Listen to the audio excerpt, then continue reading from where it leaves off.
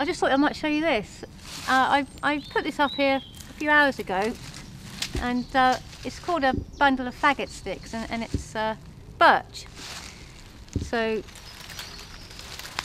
it's planning for the next fire and it's a Swedish idea and so that you collect the firewood and uh, hang it in the tree where you know the sun's gonna get to it and the air and it will dry out preparation for your next fire and birch is good because it's got a lot of oil and it uh, lights easy.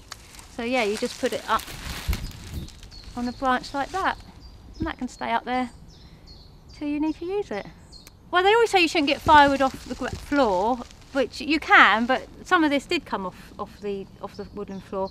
And then you just put it up here and then it dries and then you can use it. I ideally um, you should always try and use um, kindling which is naturally caught in the branches so it's off the damp ground.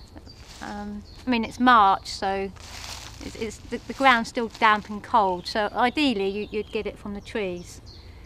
Uh, but if you get it off the forest floor just yeah just put it up there. It'll dry out eventually.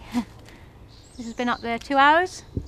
It's already dry so but birch but if you notice these this kindling bundle is um, as long as long as my arm and more. You don't want to use tiny little sticks to start a fire. Keep it nice and long so you can you can manage it. Stay up there for now